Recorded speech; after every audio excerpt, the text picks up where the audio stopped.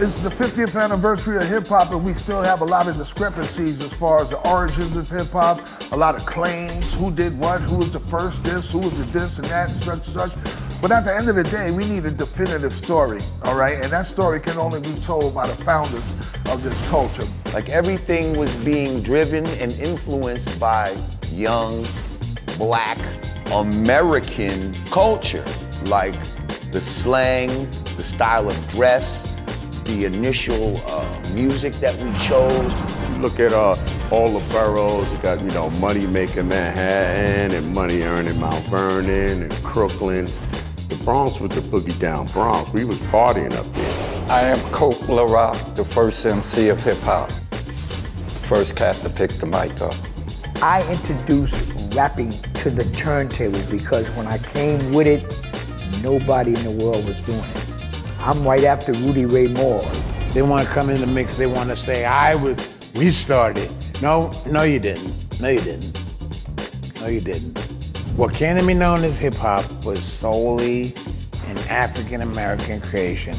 What would you get out of some Jamaican toast? What is that? I've never heard of a rapper use a Jamaican toast or a Jamaican flu as a rhyme. I never heard of it, and I don't know where that myth came from.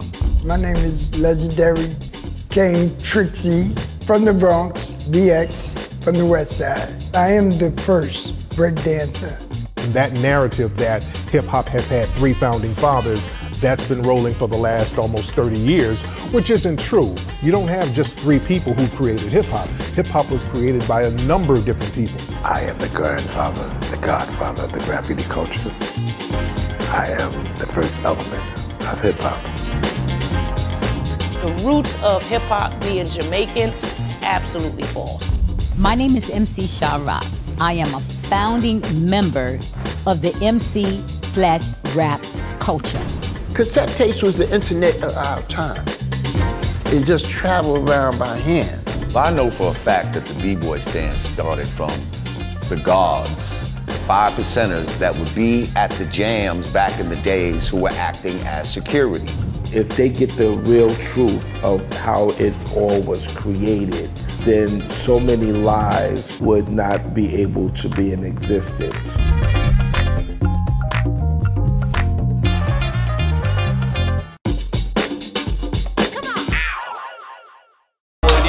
Running it down on these niggas. Uh-huh. Sex, drugs, money, and murder, my nigga. You know how we did it, my nigga. Uh-huh. Still be painting them bitches, my nigga. Ripping that roll, fucking your bitches. Sex, drugs, money, and murder. Sex, drugs, money, and murder. Sex, drugs, money, and murder. Sex, drugs, money, and murder. Niggas, they never will hurt you. Uh, niggas, they never will hurt you. Uh, sex, drugs, money, and murder. Sex, drugs, money, and murder. How the traps right, understand how to get that. Ran down on them niggas with a flip back. Knew I never seen on a nigga live like that. I was still getting stacks back. Had to fuck around getting them packs back. Niggas. Sully, you know, Mr. Blue Bulletz Gotti. You know, seeing another video. This one right here, I want to talk about the whole Tariq Nasheed, you know, hip hop um, history documentary he got coming. Now, this is what I want to tell people, right? No knock on Tariq. I don't got no issue with Tariq. In fact, I was a huge, still a huge supporter of what Tariq do, his work, Hidden Colors, you know, the art of and all that. But I think with this hip hop conversation, man, I think it, it, it don't need to be divisive. I think that, you know, we all gotta understand Hollywood. I'm loving that Hollywood is getting his flowers. I'm loving that Super King, Disco King Mario's getting his flowers. I'm loving that, you know, you know, those two brothers is getting their flowers and you know the pioneers, Grandmaster Caz and Busy Bee and Melle Mel, they all getting their flowers. No, no, nothing, nothing taking that. You know what I'm saying? But we always gotta remember this though. We always gotta remember this though. Hip hop culture, especially in the Bronx, did have blacks and Hispanics. You know, you gotta remember, Melle Mel is half black, half Dominican. A lot of people don't know that. He's half black, half Dominican, right? And, you know, in some way, you got to look at the Bronx as predominantly, you had a mixture, a melting pot of Jamaicans and blacks and Hispanics. Nobody's saying that the culture don't come from the FBAs. Nobody's saying that. You know what I mean? The last poets had Puerto Ricans and blacks in it. You know what I'm saying? And the brothers got to understand is that's what the environment was in Harlem, in the Bronx, and even Brooklyn. It was a melting pot of everybody. You know what I'm saying? Now, I agree. You know what I'm saying? When it comes to them Caucasians, when it comes to them culture vultures, and not and not all white people. I'm not gonna say all white people is bad because you have white people that was in the culture too. Don't get it twisted. But when it comes to culture vultures, I get it. They gotta be called out. But with the, with the like I said, with the documentary is very divisive because you got dudes in it. You got dudes like Tariq, man. He trying to make it a, a whole like we on this FBA ADOS thing. Like like I said before, man. Before this whole ADOS and FBA situation, you know, brothers brothers looked at the money because you gotta look, you got dudes like Tone Talks and Yvette Carnell came with ADOS, right?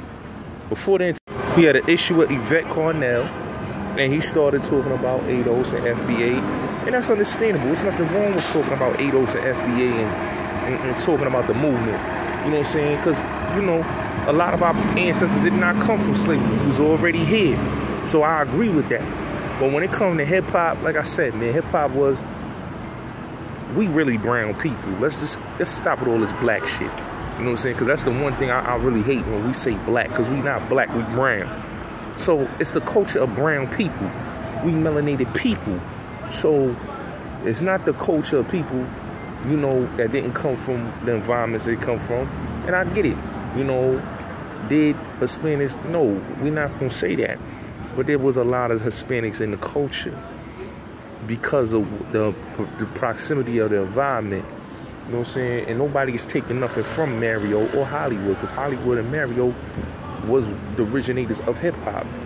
Now, Herc had the first big party, you know what I'm saying, that was publicized, but Hollywood and Mario was the premier DJs with the Eddie Cheebas, you know, and and and and and even the Pete Joneses, you know what I'm saying? I give Pete Jones a little more credit.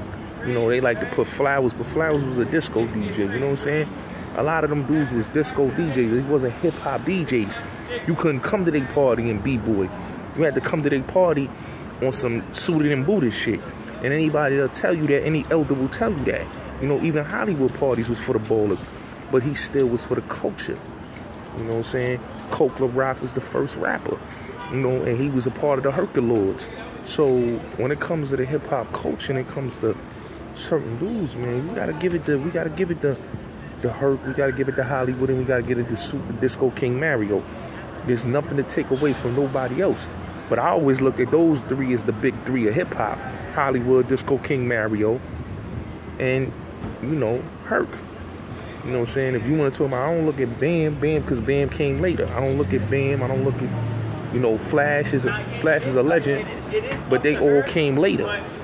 When it comes to who was originators and who had the first party, publicized party, Herc. Who was the first to do what it do, you know, DJing wise and, and, and being party pleasers, Hollywood and Disco King Mario. And that's just what it is, man. That's just what it is. And, and, and it's no and we don't need to make it real like into an argument and into a debate piece. You know what I'm saying? Because I don't have a problem with Tariq doing a documentary, but don't, you know, shoot brothers down. You know what I'm saying? Because it's history. Don't do don't do that to the history. I think that everybody needs to be taught because you can't just go and try to shit on brothers, man. If you gonna do it, if you gonna say yo the Puerto Ricans ain't got nothing place in opinion, bro, but let's not be divisive, man. That's all I wanted to say, man. Shout out to everybody, man. It's your boy Bulletz Gotti, man. Salute.